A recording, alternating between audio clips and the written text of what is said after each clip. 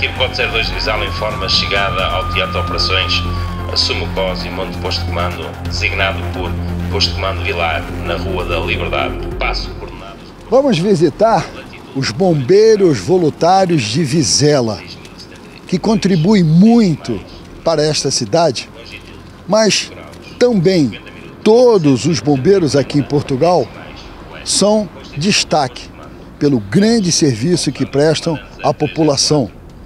Vamos saber agora no programa Assim é Portugal, todo o seu serviço e um pouco da história visitando o seu museu.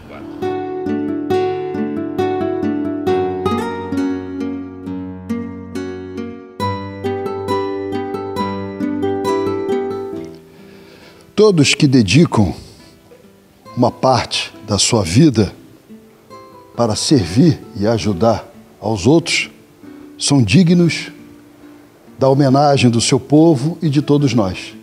E hoje nós estamos aqui nos Bombeiros Voluntários de Vizela para agradecer em nome de todo o povo, dos imigrantes que partiram para o Brasil e para outros países que assistem nosso programa e que às vezes, através das imagens, se emocionam não só por você estar salvando amigos, familiares, pessoas da sua terra. Desde já, nosso muito obrigado em nome de todos eles. Comandante. Não tenho que agradecer, é a nossa missão, é, está-nos no sangue. Eu costumo dizer que não é bombeiro quem quer, é bombeiro quem nasce com sangue de bombeiro. Uh, e uh, esse agradecimento não é mais nem menos do que o nosso pagamento, porque efetivamente um bombeiro que se preze ser bombeiro e que uh, com honra e honra a sua farda, é isso que quer, nada mais que um simples obrigado. Contudo, estamos cá, eh, para servir a população, da mesma forma com que o fazemos há 142 anos, preservando toda a história, todo o passado, todo um passado emblemático e que nos orgulha tanto, mas com uh, os pés bem assentos no presente e focados no futuro, porque a evolução acontece e nós não nos esquecemos do passado, mas uh, estamos sempre com os olhos no horizonte, a olhar em frente, para que sempre e sempre as, as nossas populações estejam uh, salvaguardadas no socorro em primeiro lugar e pelos melhores profissionais. Comandante, gostaria então que você falasse um pouquinho desse rico museu que estamos presentes. Bem, eh, entrar neste museu é, é recuar no passado, é, é olharmos para 1877, eh, para a sua fundação, e percorrermos todos esses anos nos pontos mais importantes, fundamentais, que a Associação foi caminhando, com momentos mais altos, momentos menos bons, eh, como tudo na vida.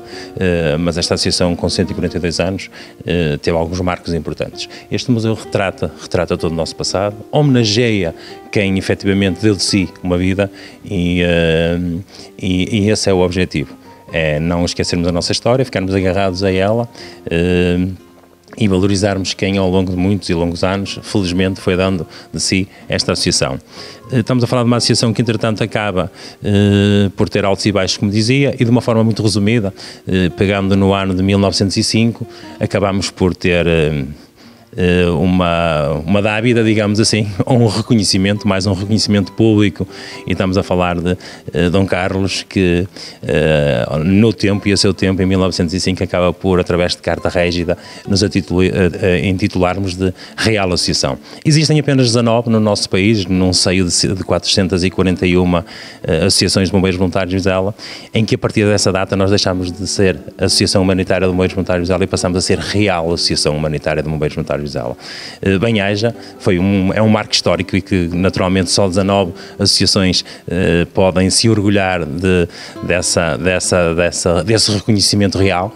Eh, nos tempos de hoje não passa mais que grandes peças de relíquia, mas que para nós tem um valor eh, muito grande, muito grande porque retrata a história, pegando em todos estes veículos e olhando lá dentro a nível fotográfico tudo o que temos do tempo e a seu tempo.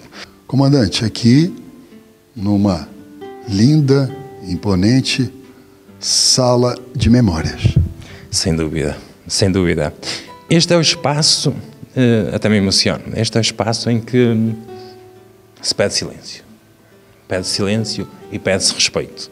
Aqui está os homens que ficaram marcados e ficarão para sempre.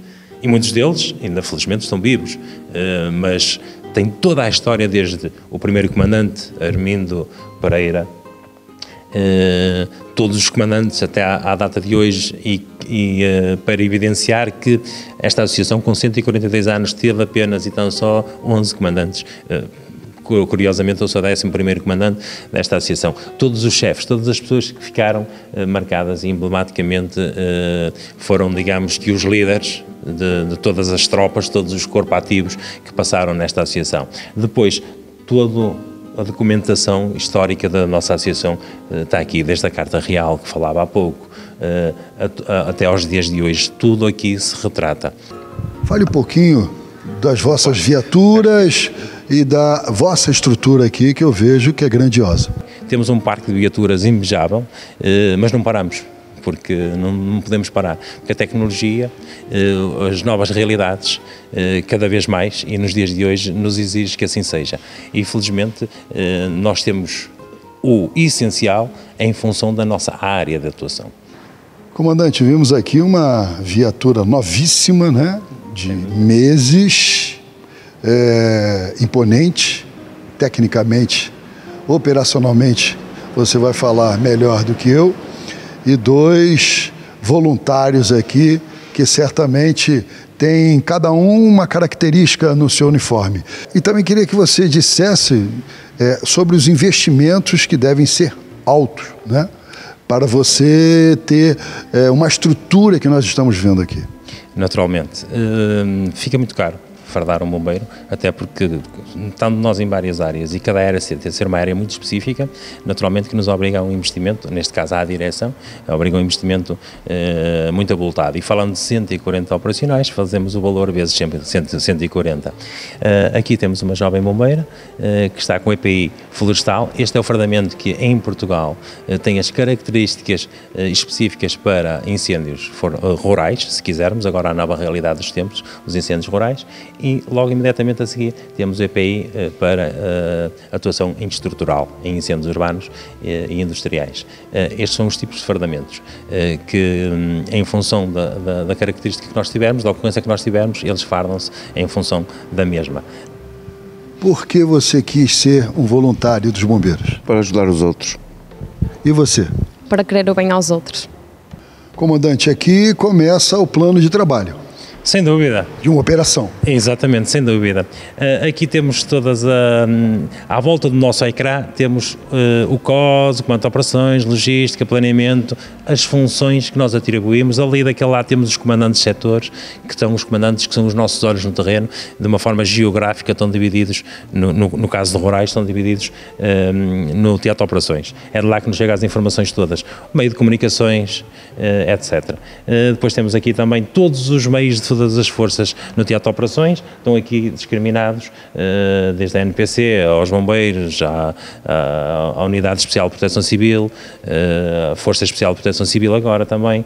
Eh, depois também temos quem, quem for designado COPAR, que é quem faz a comunicação com, com terra e ar, neste caso com os meios aéreos. E depois no meio temos, através do programa específico que trabalhamos no Distrito de Braga, através da NPC, temos a forma CITAC, Uh, no programa específico, onde nós desenhamos os setores, onde nós, através das coordenadas, sabemos onde o incêndio está uh, no momento atual. Uh, essas coordenadas são-nos transmitidas através dos comandantes que estão no teatro de operações. É uma forma de percebermos a cada momento os hectares que temos já perdidos, é uma forma de percebermos onde está a frente, a frente de incêndio. Muitas das vezes, onde temos o posto de comando, não temos a noção da frente de fogo e para que a tenhamos é muito mais fácil através deste programa. Também aqui conseguimos perceber todos os caminhos circulantes e penetrantes para os operacionais e ajudar no terreno, através daqui, eh, a, a melhor forma de chegarmos eh, até, até, até ao local de sinistro. Contudo, também, e não menos importante, aqui também podemos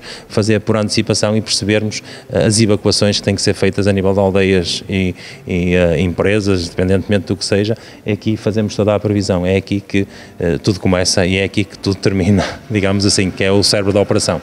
Parabéns. Obrigado. Assim é Portugal. Mostrou um, um pouco do que esses bravos bombeiros voluntários aqui de Vizela realizam. E aqui a nossa homenagem a todos os bombeiros de norte a sul de Portugal, como também as suas ilhas. Nós Braga, aqui posto Comando Vilar, informe que o incêndio está extinto. Foz de Braga aqui, comandante de operações de socorro informa a desmobilização do posto de comando e de todos os meios no teatro de operações, ficando apenas em vigilância, equipa ESIN. Escuto. Posto de comando Pilar, equipa Foz de Braga, recebido.